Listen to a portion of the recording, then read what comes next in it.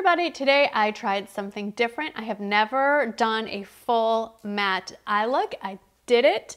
I did compensate by using a few more luminous products on the face. I will list all the face products in the description box. Now let's get started on the actual demonstration of how I did this. I am using one of my favorite palettes. It's the Too Faced Chocolate Bonbons palette. Quite yummy. And I usually let's say, let's be real, I always reach for all the pretty shimmer shades, but I'm gonna try something very different. I'm gonna use the matte shades. I've never done an all matte look, whether it's on camera or just for fun. So let's play along. So just to make sure everything blends really easily, because that's always a concern with matte, I'm gonna use the Divinity shade, which is the lightest kind of my skin tone color all over the lid with a big fat brush. Oh, this smells so good. Like I'm, I'm, I'm spreading shadow all over and it smells like chocolate. I love it. Like fake sweet chocolate. All right, if you're not as fair as me, you might not want to do it all the way up to the brow bone like I did because it'll be very obvious, but it works for me. Now I'm just gonna kind of do the same technique I do when I do shimmer shades. I'm just gonna pick the shades that are in the matte version. So lay down a crease. I'm gonna layer matte. I think like the key to a, it's my theory, is that the key to a good matte look is to layer a lot of shades so you get the depth that a shimmer usually provides. So I'm gonna start with the lightest of the mattes uh, that has color, which is Cashew Chew. Cashew Chew. I will list all this in the description box, the colors I'm using and where they're going. And it's really barely showing up, but it is gonna help blend out any transition there, anything in the crease. Admittedly, that didn't give me much, so I'm gonna hop over to Almond Truffle, which is a little darker, and Bosley's gonna drink his water, and we're all gonna listen in. If you see, I'm not, I'm staying in the socket line. I'm not pulling it down because I'm gonna do other colors. This is gonna kind of, thank you for the sound effects, Bosley. Gonna kind of elongate the eye a little bit. I'm probably gonna do this more than once, but I'm going back in and laying with a flat shader brush, which will be, it's denser, so it gives me more pigment, more color payoff. I'm just gonna brighten up that lid a little bit more. Now I'm gonna warm things up and deepen things up. I'm using Mocha, which is just a true brown, and I'm gonna punch it using like a, um, this is a fake MAC 217. It's an old Sigma brush. I don't remember what the new numbering is called. And I'm gonna use the tip of it to punch it in the corner. Add a little more. And then kind of bring it up into the outer corner, up into the crease. And then kind of swirl it around just to add a little color, a little depth, a little dimension. I'm going to bring a little bit of that mocha shade on a pencil brush right underneath the lash line and connect it with that outer corner.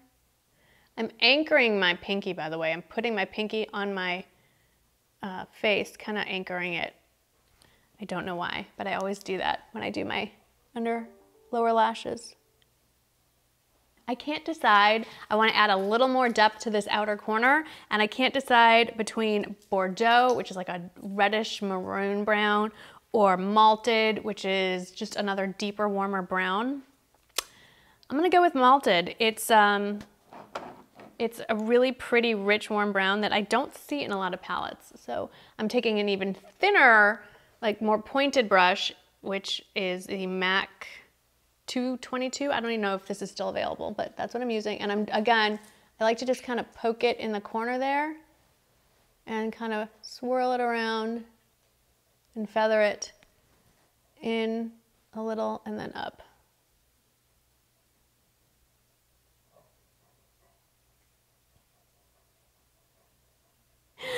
Okay, I'm going to blend this all out with a fluffy brush. This is like a no-name generic brand from Walgreens, fluffy brush, um, which I, they don't make anymore. I wish they did. And I just added a little, instead of using a, a, a bare brush or one that has like the same color as my brow bone, I'm using the shade that I used for the initial uh, crease, the Cashew Chew.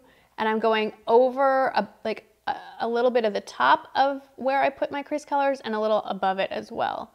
And just going back and forth. And I'm also gonna go around the outside edge, just soften it all. And because it's not completely bare of color, I won't take too much color away. And it does add a nice little transition. I'm gonna go back in with the malted shade and a really thin smudger brush and go along the lash line. I actually really like this. It gives a really nice soft effect instead of the harsher, not that harsh, but harsher line. So there is with the eyeliner, eyeshadow is eyeliner, and this eye is without. Hmm, yeah, I like it.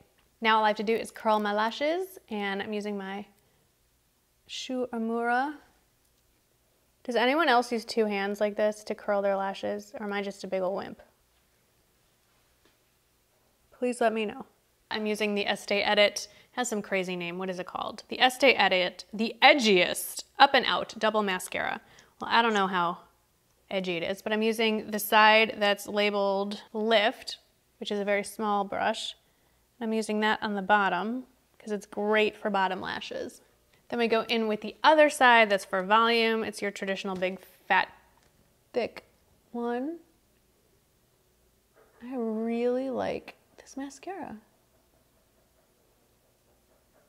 I really love that my refrigerator is making knocking noises. Why? I'm going back with the little tiny side just to get into the corners and lift. Oh, wow. It works. That's the finished look. Let me finish up with my hair and we'll talk about it. So here's the full finished look. You got a peek of it, of course, at the beginning of the video.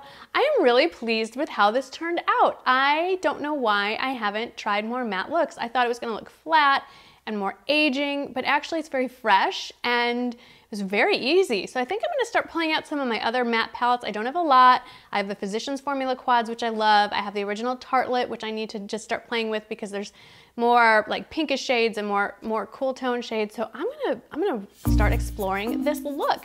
Let me know what you think of this, if you wanna see more looks like this using other palettes. And thank you so much for watching. I'll see you in the next video. Bye-bye.